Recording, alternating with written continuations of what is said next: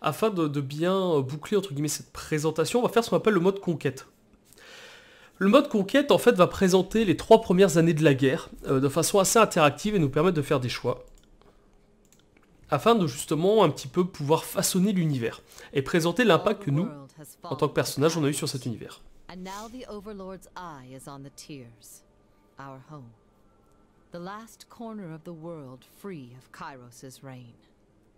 Two armies, the Disfavored and the Scarlet Chorus, march south from the Northern Empire, the last realm to fall to Kairos a century prior. Donc voilà, donc les depuis venant du nord, en fait, les armées de Kairos sont en train de débouler sur les royaumes indépendants du sud. Euh, un petit peu comme dans The Witcher 3, comme dans Le Seigneur des Anneaux, donc voilà, sur ça on est très classique. La seule différence avec tous ces, tous ces, ces- ces univers précédemment cités, est que cette fois-ci nous jouons les forces du mal, euh, les forces d'invasion. In the early days of 428, Kairos' armies arrive at the gates of judgment, the mountainous border that we Tearsmen so long believed unassailable. Unable to agree on a unified plan of defense, the various leaders of the Tears sit and wait for each other to deal with the conquerors. Until it's too late. Donc comme vous le voyez, en fait, les, tiers, donc tous ces royaumes indépendants n'arrivent pas à s'unir. Euh, on est en fait un petit peu... C'est ce qu'aurait pu être le Seigneur des Anneaux si le roi n'était pas venu au secours de Minas Tirith. Et en fait, vous voyez vraiment donc les, deux généraux, donc plutôt Gravenhash à droite, qui a plutôt son armée de métier de, fantassins réguliers, euh, assez sensible dans leur fonctionnement, une légion romaine. Et vraiment, comme je vous disais, donc plutôt les, sectaires euh, de Néra Polyvoie.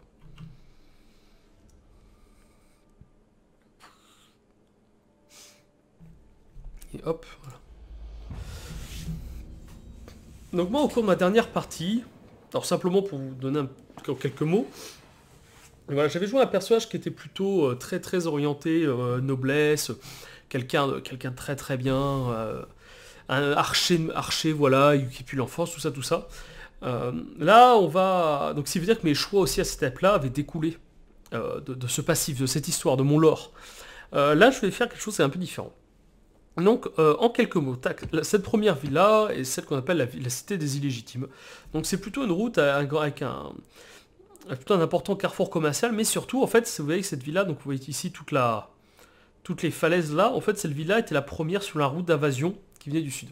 Donc, par exemple, pour déterminer la façon dont on a fait tomber cette ville, on, peut déterminer deux approches de notre personnage. Sachez simplement que dans tous les cas, tous les événements que vous voyez là, se produisent. Avec ou sans vous, ils se produisent. Par contre, vous avez la possibilité d'être euh, à l'initiative ou au milieu de l'un de ces événements. Par exemple, vous voyez qu'ici on a un avant-poste qui protège en fait cette villa puis qui peut déclencher l'alarme. On peut par exemple décider de euh, d'attaquer ce poste. Alors soit avec les disgraciés, euh, bah en fait avec une, division d'éclaireurs d'élite on prend d'assaut le fort, tout simplement. Soit avec les sectaires, donc plutôt avec eux. En fait, on va piller euh, tous les- tous les villes et les villages aux alentours, on massacre tout le monde et on enrôle de force ceux qui ne veulent pas combattre. Voilà par exemple. Ou on peut tout simplement passer en frontal à la porte. Euh, moi je suis plutôt un combattant... euh, hmm. Je suis plutôt un, combattant, un vrai combattant, donc moi mon personnage je veux plutôt être au cœur des combats. Donc on va décider qu'aux portes du jugement, aux portes de cette ville, là où les armées de la ville en fait se sont rassemblées, nous on s'est on était positionnés au cœur des, des hordes du cœur écarlate et on a attaqué l'armée sur le flanc pour la détruire. Donc on, leur a fondu dessus en masse et donc on a écrasé, on les a écrasés. Tac. Vous voyez, en fait, c'est-à-dire que, les deux événements qui sont passés là, tous ces événements se sont passés. La seule différence, c'est que là, on a choisi, on a, on a, orienté l'un des deux. Alors, ensuite, les soldats des tiers sont tombés par centaines, euh, et les armées n'ont pas réussi à s'entendre sur le sort des prisonniers. D'accord, ou euh, nous avons rapidement neutralisé les défenses locales. Mais on se retrouve à court de vivres. Donc moi, euh, je suis suis pas le genre à perdre mon temps sur les détails de logistique comme les vivres. Je pense que c'est à d'autres. Donc moi, je vais plutôt être au cœur des, vrais événements. En tant que représentant du, dieu de la justice, on m'a demandé, demandé, comme on me demandera dans le jeu, de trancher dans le cadre d'un débat. Je peux choisir de, euh, en fait, de, ah oui, c'est important. Je vais juste faire une petite parenthèse. En fait, le, les disgraciés, donc la, la légion d'élite professionnelle, est plutôt une armée de métiers. Tous ces hommes viennent du Nord. Elle n'accepte que des hommes du Nord.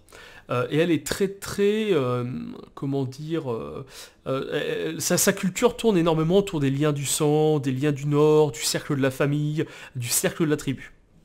Donc ils se connaissent tous entre eux. Le cœur écarlate, en fait, ça se voit vraiment plutôt comme une secte religieuse qui va endoctriner de force l'ensemble des, zones où elle. Cas concret, une bande de, de, maraudeurs du cœur infernal, orientés voilà, autour d'une sorte de, chef brigand, va attaquer un village sans défense. Ils vont euh, tuer les 3-4 gardes, ils vont réunir tout le monde au centre du village. Euh, tous ceux qui essaient de se battre vont être directement exécutés. Enfin, tous ceux qui essaient pardon, de s'échapper vont être exécutés. Et en fait, cas concret, parce que c'est l'histoire d'un des personnages par exemple du jeu, ils vont armer tous les survivants. Ils vont leur dire voilà, donc c'est pareil, ils vont par exemple être une cinquantaine de villageois au centre du village, ils vont donner un couteau à tout le monde, puis ils vont dire voilà, euh, les 5 qui survivent à ce qui va se passer maintenant, auront le droit de, nous rejoindre et de continuer à vivre. Et donc ce qui fait que vous allez avoir des maris qui vont tuer leurs femmes, des mères qui vont tuer leurs enfants, des, parents qui vont tuer des enfants qui vont tuer leurs grands-parents, pour en fait pouvoir survivre. Et en fait, ils sont dans une sorte de destruction psychologique des gens qui sont en face d'eux. Euh, et leur endoctrinement, donc suite à ça, en fait, les, euh, gens ne sont pas, élus, je veux dire, les, gens ne les rejoignent pas d'eux-mêmes, c'est juste que pour survivre, ils sont prêts à tout. Et donc, en, tuant leurs semblables, en fait, ils montrent au cœur infernal, euh, au, cœur écarlate. Je sais pas pourquoi j'ai toujours le cœur infernal. Je, ferai l'erreur des milliers de fois. Hein. ne m'en foulez pas. Et donc en fait, le, cœur écarlate va les, va les endoctriner à coup. Déjà en les, en les maintenant prisonniers, en les frappant, en les affamant, en les torturant. Et en fait, cette destruction psychologique font que bah, beaucoup d'eux-mêmes vont rejoindre le cœur. Et d'autres bah, s'en iront, ou seront tués, ou seront euh, massacrés dans des arènes, etc. etc. Mon personnage... Alors, moi j'ai fait le, du côté des disgraciés, c'était vraiment intéressant parce qu'il y avait plein de choses à faire, mais ça restait vraiment euh, très propre, très beau, très clean. Là j'ai envie de m'amuser un petit peu plus avec vous, c'est pour ça que je choisis plutôt d'orienter le cœur, et donc d'enrôler tous les hommes que j'ai capturés au pied de la ville, pour les utiliser comme avant-garde pour le prochain assaut. Donc vous avez armé les anciens soldats les plus coopératifs, et les avez envoyés gonfler les rangs de l'avant-garde, en prévision du prochain assaut. Les survivants ont pu s'emparer des armes et des armures des morts et sont prêts à se battre pour vous. Voilà, alors je suis désolé, hein, cette petite parenthèse est un petit peu longue, mais je pense que si vous voulez bien comprendre la, distinction euh, morale et culturelle entre, ces deux armées-là, entre les disgraciés et le cœur, c'est important vraiment de, prendre un petit peu de temps pour en parler. Donc nos armées se sont amassées autour de la cité, premier bastion des tiers, donc des royaumes indépendants. Les deux armes attendaient avec impatience, le cœur infernal hurlant pour piller et les disgraciés formant un mur de boucliers imparable. Vos prouesses leur avaient permis d'arriver jusque-là. Comment allons-nous prendre la ville? Donc j'ai trois façons de faire. Je peux soit euh, rejoindre les, disgraciés pour un assaut direct, soit aider le... Ah, j'adore celle-là. En fait, vous avez aidé le cœur infernal à embraser la ville et avait bloqué les portes. Donc en fait, on ferme les, blocs, les portes depuis l'extérieur pour que les gens puissent pas sortir. Et en fait, on, met le feu à la ville. Ça, je trouve ça assez extraordinaire. Et ça me permet directement d'avoir un sort de feu. Ça, c'est un... Dégâts, ça, ça c'est un... Ça me donne un debuff, un malus de dégâts, mais en, contre... en contrepartie, j'ai une régène de santé. J'ai mené un groupe d'éclaireurs du disgracié du cœur écarlate jusqu'au rempart de la cité, j'ai saboté ses défenses. Euh, alors en termes de jeu... Oui, non. Ça, je trouve c'est celui-là le plus... Vous avez donc décidé d'aider le cœur écarlate à embraser la ville et à bloquer les portes. Les défenseurs ont dû se rendre ou brûler. Pourquoi forcément? Parce que je vous dis, je suis un combattant des faux, ça veut dire que mon personnage a, appris la souffrance, euh, il, a, a, souffert dans les arènes, il a souffert dans la rue, euh, il a souffert des coups, donc on va dire qu'il prend une sorte de revanche sur le monde civilisé. C'était étrange de barricader les portes que vous aviez précédemment tenté de franchir. Mais vous n'avez pas eu le choix lorsque la cité s'est embrasée. Pendant des jours et des nuits, le cœur écarlate a déversé une incessante pluie de flèches incendiaires sur les remparts. Ces défenseurs ont fini par céder. Massés derrière les portes, les habitants ont supplié pour quitter la cité en feu. Vous et votre armée avez entendu leurs supplications. Les portes se sont ouvertes de l'intérieur.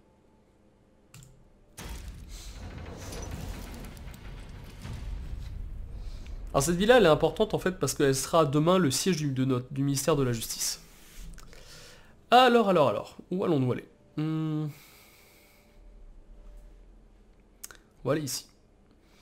Alors ici, donc vous voyez, donc on a, pris cette zone-là, donc on vient du nord, on a pris cette zone-là, et maintenant on va descendre, on va passer par la brèche des remparts, et on va attaquer ici.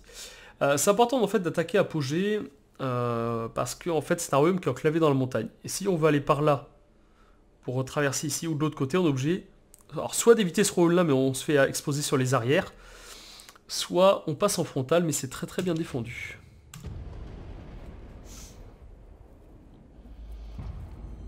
Deuxième année de la conquête.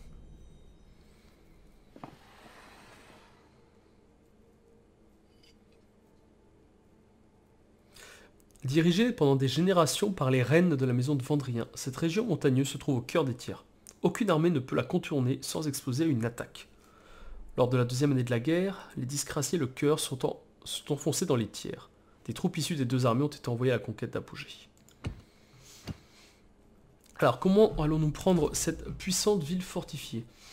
Alors je peux soit m'en prendre au fort euh, qui, défend euh, la partie extérieure de la ville, donc un fort imprenable, soit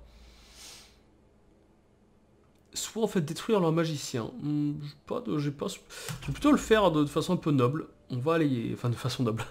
On va, comme disait, euh, comme disait le, le, roi Arthur dans Camelot, à la guerre, faut sacrifier les jeunes. Donc là, on va... Alors, comment ça s'est passé? Ah oui, donc en fait, cette forteresse-là que nous, on voulait attaquer, pour, s'en servir d'avant-poste, la, prendre, en fait, euh, les disgraciés ont, envoyé l'un de leurs généraux, donc une sorte de demi-dieu, un petit peu comme ceux qu'on représente, mais que vous verrez, hein, je vous rassure, dans, quelques minutes, ou heures, c'est selon le temps que je mets à jouer. Euh, en fait, ils ont envoyé l'un de ces demi-dieux-là euh, qui a déclenché une avalanche de pierre, en fait, qui a totalement réduit à néant cette forteresse. Sauf que euh, nous, on la voulait. Donc on a exigé réparation et on a obtenu que les, en fait, les éclaireurs qui avaient ordonné cette attaque nous soient, envoyés pour s'acquitter de leur dette. Euh, de la division d'élite, s'était clairement opposé, mais il est resté digne et a versé quelques larmes. Les membres du cœur se sont agglutinés autour des nouvelles recrues et ont arraché leurs vêtements, avant de se livrer à un rituel de bizutage qui a duré toute la nuit. Ouais. On veut pas toujours savoir en fait tout ce qui se passe, je vous rassure. Alors. L'armistice du lit conjugal? Ah oui, c'est une, euh, oui, oui, c'est une fête, euh, c'est une fête locale, d'accord. Hmm. Ah d'accord. En fait, on a deux possibilités. Soit on, va plutôt, en fait, on enfreint les, règles culturelles euh, et on, en fait, on profite d'une sorte de, euh, de, fête euh, où la, violence est proscrite, on profite qu'eux soient distraits par ça pour les attaquer. Donc, euh, c'est pas, noble, et sachant que vu que j'ai enrôlé beaucoup de prisonniers au cours de, durant mes rapines avec mes troupes, je veux pas me, mettre à dos la moitié de mes soldats. Donc on va plutôt en fait aller sur l'autre côté, où on, a, on a ramassé des armes et des armures sur les corps des morts de notre propre camp, et on se les est appropriés. Sauf que forcément, euh, les troupes donc des disgraciés de la Légion euh, ne sont pas contentes et ont porté plainte. Néanmoins, nous allons les conserver.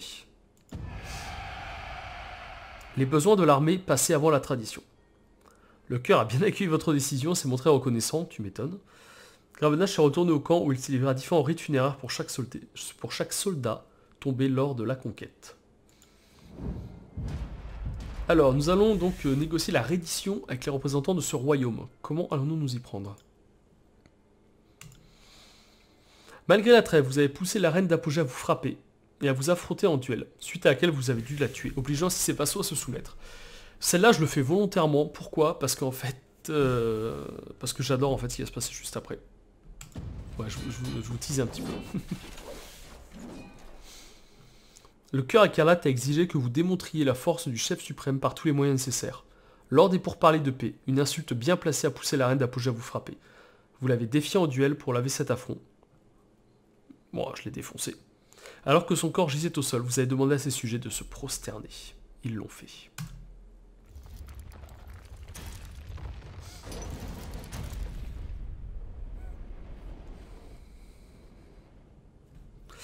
Ensuite, ensuite, ensuite, où allons-nous aller Où allons-nous aller euh, On va aller ici. On va aller dans la citadelle.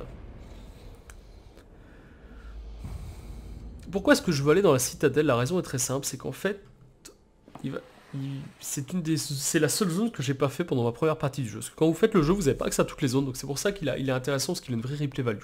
J'aimerais bien la faire avec vous pour la découvrir. La citadelle de Volum, en fait, c'est une sorte, c'est une, euh, euh, une bibliothèque forteresse. Donc en fait, c'est une sorte de bibliothèque d'Alexandrie, euh, mais fortifiée, fortifiée comme, comme un- une, une construction militaire standard. Alors.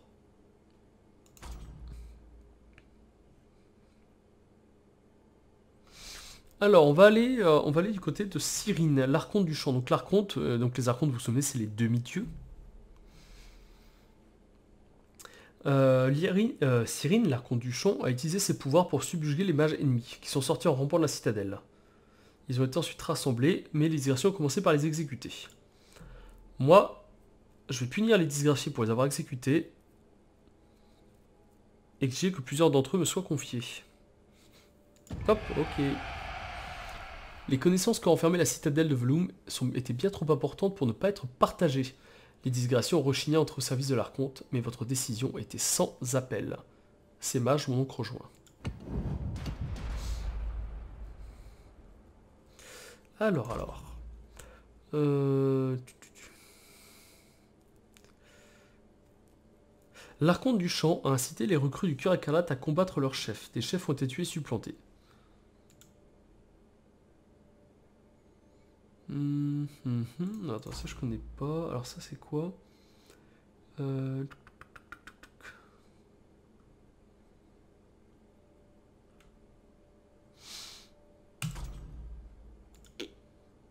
Alors ça en fait c'est des mages, des mages espions qui se sont rendus euh, au- au- auprès de la Légion.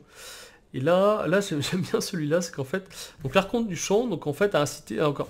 Le, le cœur écarlate, en fait, je, vous l'ai dit, c'est une sorte de secte. Et en fait, comme toute secte, euh, la ligne hiérarchique euh, est, bien établie. Sauf que eux, on les, entre guillemets, on les encourage à démontrer qu'ils sont les meilleurs. Et cet encouragement-là passe notamment par une remise en question tout le temps, un peu comme dans une bande de criminels, hein, où on essaie toujours de détrôner, d'être le calife à la place du calife. Et donc justement, on incite, euh, on incite les, euh, hommes à se, battre entre eux, essayer de tuer leur chef justement, pour que, euh, pour en fait que seuls les plus forts survivent.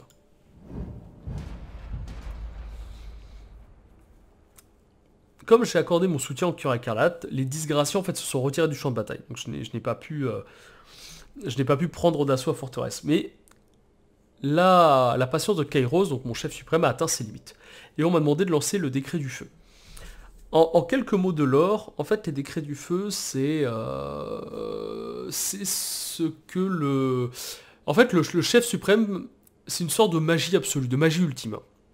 Concrètement, c'est des sorts qui, normalement, lorsqu'on les lance, vont quasiment tuer leur porteur, enfin, sont, capables de bouleverser une région.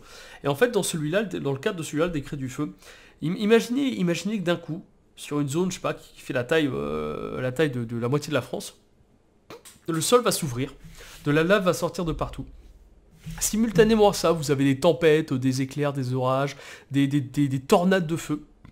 Mais tout ça, entretenu magiquement, ce qui fait que, euh, en fait, ça, peut continuer à brûler pendant des années, des années, des années, des années. Et en fait, vu que la conquête n'a pas été si simple que ça, dans beaucoup des, territoires dans lesquels on va devoir progresser avec nos armées, des décrets comme ça ont été lancés. Et les territoires sont complètement détruits par la magie du chef suprême. Parce que, alors, vous savez qu'il y a, euh, selon dans les grandes théories de la guerre, et notamment si vous prenez des, des- théoriciens euh, millénaires euh, comme, ce- comme Sun Tzu, ou plus récents comme von Clausewitz, en fait, on va plutôt vous dire que la, guerre doit être euh, brève et la victoire extrêmement rapide. Parce que si vous faites la guerre pour un territoire, pour l'obtenir, ce que vous avez besoin soit de ses ressources minérales, ses ressources alimentaires, ses, ses ressources industrielles, mais si vous rasez tout, tout, tout, tout, tout, tout, jusqu'à la dernière pierre de la dernière fondation, finalement, est-ce que vous avez vraiment un intérêt à sacrifier 450 000 hommes pour, euh, pour ce qui est simplement une plaine fertile de 20 km dans laquelle vous ne pourrez jamais rien faire pousser. Non, forcément, donc il n'y a aucun intérêt. Et c'est un petit peu le, gros problème de, la conquête des tiers par Kairos, c'est que finalement, ils ont littéralement tout détruit. Euh, hop, et on va faire évacuer nos espions, et on va détruire toute la forteresse. Alors que le soleil disparaissait à l'horizon, vous avez lu le décret. La terre s'est mise à trembler, et une lumière rouge-orangée a brillé au pied de l'imposante citadelle. Sortant un gros bouillon des profondeurs de la bibliothèque, un torrent de lave s'est déversé avec une force explosive, avant de jaillir des fenêtres et des interstices des briques, puis de se répandre sur les terres environnantes. Voilà. C'est comme si on venait de détruire... Et en plus, forcément, on a détruit l'équivalent d'une bibliothèque d'Alexandrie. Donc on a tout... Euh, on a tout détruit. Et on a fini. Écoutez, voilà, on a, on a fini l'intro. Euh, je regarde un petit peu mon timer. Je pense que je vais, normalement, je l'aurais monté en deux petits épisodes assez rapides, je pense. Mais voilà, sachez qu'on on a dressé un petit peu le, portrait de l'univers et ce qui va structurer un petit peu notre aventure. Euh, notre personnage est plutôt, plutôt violent avec un passif assez lourd. Euh, pas nécessairement très éduqué, mais euh, voilà, assez violent. Il règne beaucoup par violence et forcément au sein du cœur écarlate, qui, comme vous l'avez vu, c'est, euh, on va dire, permis de nombreuses exactions autour de la conquête. Notre personnage s'est développé et entre ses pulsions personnelles, ce que lui apporte le cœur et le pouvoir qui lui est donné par le dieu de la justice, il a forcément en tête de créer les meilleures choses pour lui. Et sur ces belles paroles, je vous propose de lancer le jeu. The year is 431, and Kairos' invasion has shattered all major opposition in the tiers. The younger realms, the bastard tier, the free cities. All who defied Kairos lay broken by battle, or bowed in surrender. The two armies of the Overlord, the Disfavored and the Scarlet Chorus, now control our lands. Donc, les jeunes royaumes, tous ceux qui défiaient notre loi, ont été défaits au combat ou se sont courbés. Nos deux armées, l'élite des disgraciés et le fourmillant cœur écarlate, contrôlent les terres. But our will is not yet extinguished. Not entirely. In the valley of Vendrian's Well, those of us unwilling to bow to Kairos have banded together in defiance. Violating an oath of surrender from two years prior, we have staged a bloody uprising, murdering the disfavored and Scarlet Chorus garrison in a midnight assault. Cette cité-là, euh, qui vient de se rebeller contre nous, de nous trahir après, euh, après s'être rendu, euh, et en fait la cité, la première cité qu'on a conquise, pour ça que j'ai fait un petit peu ça. Et en fait, c'est la cité, vous savez, pour laquelle euh, leur reine, euh, qui était venue négocier une trêve, je l'ai insulté, je l'ai poussé à agresser mon personnage, et le duel qui s'en suivit, j'ai pu la tuer. C'est pour ça, c'est un peu grâce à moi, euh, on va dire, dans, notre lore, qu'en fait la cité nous garde une dent contre nous, parce que là où la trêve aurait pu être beaucoup plus calme, c'est nous qui avons poussé, un petit peu semé les graines de la rébellion ce jour-là. With their main forces spread across the tiers, the disfavored and Scarlet Chorus redeploy to Vendrian's Well to crush the resistance. But months pass with no definitive battle. As disagreement and discord paralyze the Archons, we bide our time and wait for our message of insurrection to spread across the tiers. The Overlord is not amused, and Kairos has one message for the Archons. Crush the Oathbreakers, or die. Kairos backs this threat with an edict. A magical commandment that can slay all in the valley should the order be ignored. The honor of proclaiming this edict fell to you. Sent across the mountains to Vendrian's Well, You carry the Overlord's edict to read before the Archons. Et voilà en fait le pitch du jeu. Et voilà pourquoi est-ce qu'on est là aujourd'hui. C'est qu'on a, pu montrer au, Maître Suprême qu'on était capable de, faire beaucoup. En lisant sur des crés, en détruisant la, bibliothèque. Et comme il voit que la conquête n'avance pas et que c'est pas quelqu'un de nécessairement patient, notre Maître Suprême, il nous a demandé de, lire un nouveau décret. Parce que ça fait des mois que les généraux euh, n'avancent pas. Je vais le lire devant, euh, enfin c'est c'est un objectif, de lire ce décret devant les généraux. Et ce décret sera très simple. Soit à une heure précise, à une date précise, vous êtes à tel endroit, donc ce sera en l'occurrence euh, le cœur euh, de cette citadelle, soit vous mourrez. As you finally make your way through the winding mountain passes into the valley, the ground trembles, and Kairos' magic seals the way behind you. You are trapped in Vendrian's Well, with Kairos' armies and the Oathbreakers. The only way to survive is to fulfill the terms of the Overlord's edict, in any way that you can.